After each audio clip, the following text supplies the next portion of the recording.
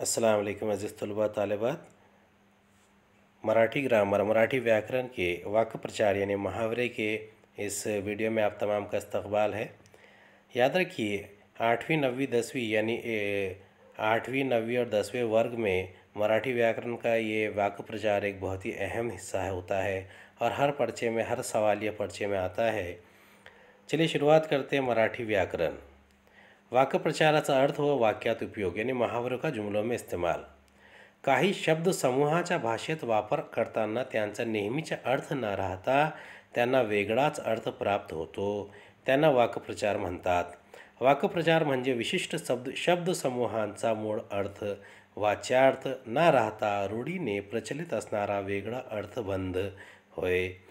यानी कुछ एक शब्द समूह होता है यानी अल्फाज का मजमू होता है उसको जब हम इस्तेमाल करते हैं, वापर करते हैं तो उसका वो मतलब नहीं होता जो आम इस्तेमाल करते हैं, बल्कि उसका एक नया ही मतलब निकलता है। इसे आप क्या कहते हैं? वाक्य प्रचार यानी महावरा कहते हैं। इसकी एक और है, महावरा और अखवाल के बीच में थोड़ा सा फ़र्क होता है। शब्दांश होणाऱ्या अर्थपेक्षा वेगळा वेगळ्या व विशिष्ट अर्थाने भाषेत रूढ झालेल्या शब्दसमूहास वाक्यप्रचार अथवा भाषेतील संप्रदाय असे म्हणतायत। यानी शब्द यानी लफ्ज़ ब, लफ्ज़ होने वाले अर्थापेक्षा, यानी मतलब के अलावा वेगळ्या विशिष्ट अर्थाने भाषित रूढ़ झालेल्या यानी अलग तरीक़े से ज़बान में शामिल हो गए जो अल्फाज के जोड़ को या अल्फाज के मजमू को क्या कहते हैं? वाक्य प्रचार यानी महावरा कहते हैं। वाक्य प्रचार यानी मन या तिल साम्य, यानी फ़र्क। वाक्य प्रचार यानी कि मुहावरे और मन यानी अखवाल, इसमें बहुत ज़्यादा फ़र्क होता है। अब ये फ़र्क बहुत छोटा सा है, लेकिन हम उसे अखवाल को हम बाद में पढ़ेंगे। डावे हाथाचा माड़ असने अर्थ सांगुन। यानी कि अगर आप एक चीज़ कहेंगे सीधे हाथ की तो दूसरी चीज़ कहेंगे बावे डाए हाथ की, बाएँ हाथ की। तो ये अखवाल और मुहावरे में इसी किस्म का फ़र्क होता है। अवगत असने, माहित असने। अब इसका हम जुमले में इस्तेमाल कैसे करेंगे? यानी मालूम होना। आदिवासी स्त्रियांना टोपली विकण्याची कला अवगत असते. अवगत होणे अब देखिए अवगत असने और अवगत होने में थोड़ा सा फ़र्क है। माहीत माहीत होणे। माहीत असणे पता रहना। माहीत होणे याने पता चलना।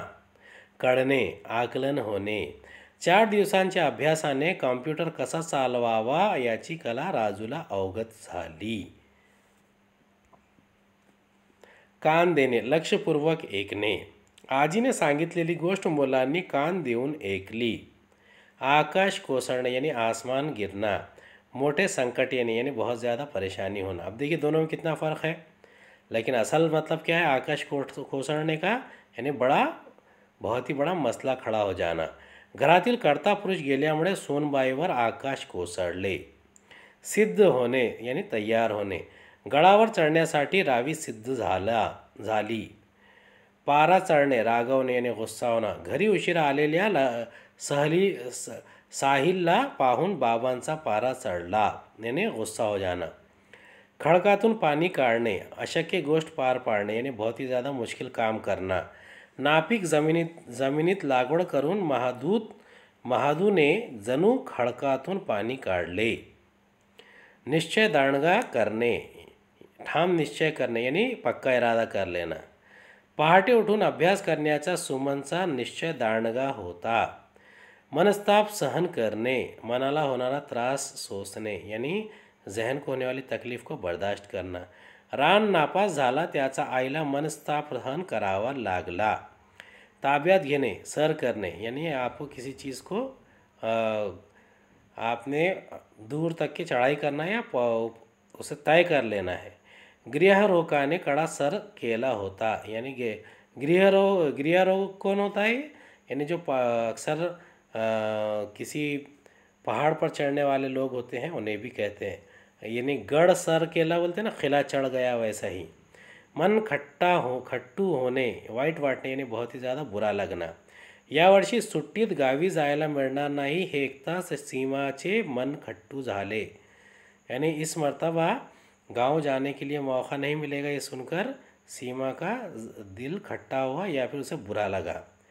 एका पायावर तयार होणे यानी जल्दी तयार हो जाना। सदैव तत्पर असणे सिनेमा पाहायला जाऊ या म्हटले की रिया नेहमी एका पायावर तयार होते। कुछ और है, ये तीन ही देखेंगे। जीव की प्राण असने खूब प्रिय असने यानी बहुत ज़्यादा जिस, जिससे आपको रगबत होना चाहिए। प्रत्येक आई वडिलांना आपले मूल जीव की प्राण असते. नाव पसरने कीर्ति पसरने यानी बहुत ही ज़्यादा कि जिसका गलगला होना बहुत ज़्यादा मशहूर हो जाना. अनेक थोर माणसामुळे जगात भारताचे नाव पसरले.